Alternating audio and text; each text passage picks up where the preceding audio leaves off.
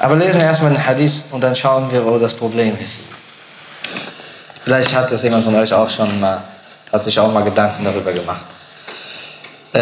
عن عبد الله بن مسعود قال حدثنا رسول الله صلى الله عليه وسلم وهو الصادق المصدوق der äh, Ibn Mas'ud, Abdullah ibn Mas'ud, er sagt, der Gesandte Allahs sallallahu alaihi wasallam teilte uns folgendes mit und er ist der Wahrhaftige, derjenige, der als wahrhaftig erwiesen ist.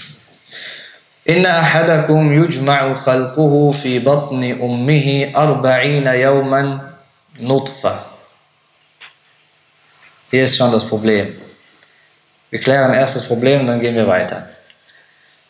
Er sagt, die Schöpfung eines jeden von euch wird im Bauch seiner Mutter für 40 Tage als Tropfen gesammelt. 40 Tage als Tropfen. Habt ihr, wer hat alles die äh, Al-Arba'un Nawawiyya bei sich hier? Ähm, habt ihr schon mal so ein Embryo gesehen? 40 Tage, äh, wenn es 40 Tage hat? Ist es ein Tropfen? Hm? Wenn wir von Tropfen reden, reden wir von flüssigem Zustand. Richtig? Ich habe es euch mal hier etwas vorbereitet. Guck mal hier, vier Wochen alt. Das sieht nicht mehr wie ein Tropfen aus. Richtig? Tayyib. Nimm das mal hinzu und nehmen wir einen Hadith, der bei Muslim überliefert wird. Ein Hadith, der bei Muslim überliefert wird. Äh, ich erinnere mich nicht mehr, wer der Rawi ist. Auf jeden Fall, er sagte, dass der Prophet sallam, sagte, wenn 42 Tage verstreichen, schickt Allah Ta'ala einen Engel zum äh, Embryo mit dem Auftrag, ihn zu formen. Er formt seine Augen und seine Ohren. Kann 42 Tage. Das kann also keine Flüssigkeit mehr sein. Richtig? Dieser Hadith hat mir deswegen viele Probleme gemacht. Ich habe versucht, also ich habe mich gefragt, wie man das zusammenbringt. Und am Ende bin ich dann auf einen Punkt gestoßen. Ich bin nie darauf gekommen, einfach aus folgendem Grund, weil die Al-Arba'un al-Nawawiyya sind eines der ersten Dinge, die man auswendig lernt. Und dann hast du diesen Hadith in diesem Wortlaut auswendig gelernt. Und jetzt, äh, das machen auch die Shurrah, ich glaube auch die meisten, die dieses Buch erklärt haben, haben das auch. Einer der ersten Ahadith, die sie auswendig gelernt haben, waren die Al-Arba'un Nawawiyya. Sie erklären dann das Buch ohne die, teilweise, ohne die Wortlaute, also diese Aufführung in den Quellwerken nachzuschlagen, nachzuprüfen.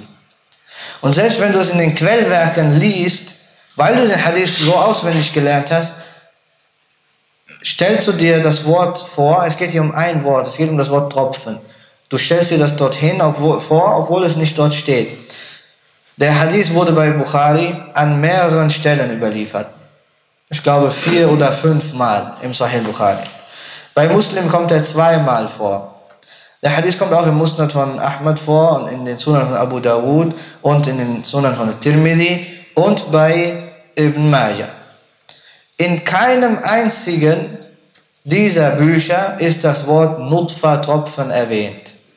Kein einziges. Woher rührt dann der Fehler? Das ist ein Fehler. Woher kommt der Fehler? Kommt er vielleicht von den Leuten, die die Abschriften von Al-Arba'un Nawawi gemacht haben? Das glaube ich nicht. Aus folgenden Gründen.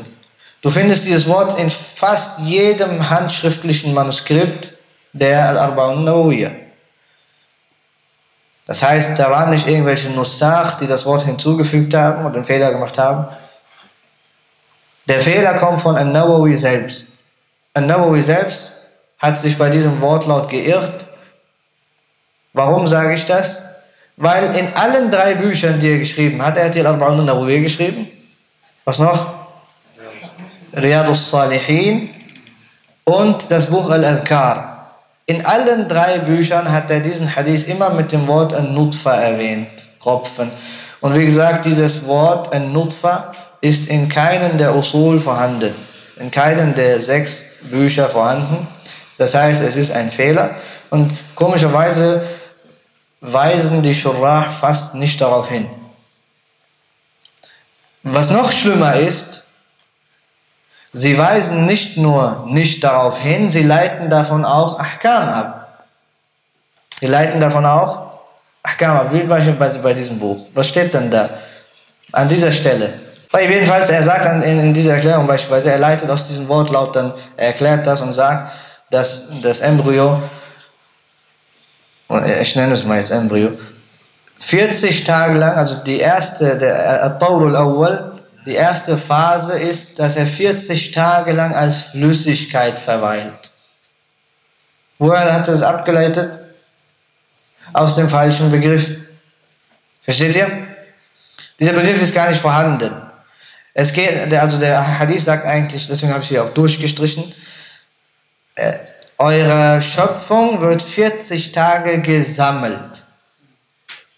Sie wird 40 Tage gesammelt. Das kann eine Andeutung auf die, äh, die Zellteilung sein am Anfang. Am Anfang hat, das, äh, hat, die, hat diese Zelle hat, hat keine bestimmte Gestalt. Ja? Es ist einfach wie so eine Kugel, die, die immer größer wird, bis sie irgendwann eine Gestalt annimmt. Denn wenn wir das als Flüssigkeit nehmen, dann, wie gesagt, das, äh, das hier sieht nicht wie eine Flüssigkeit aus. Und das ist schon in der vierten Woche so.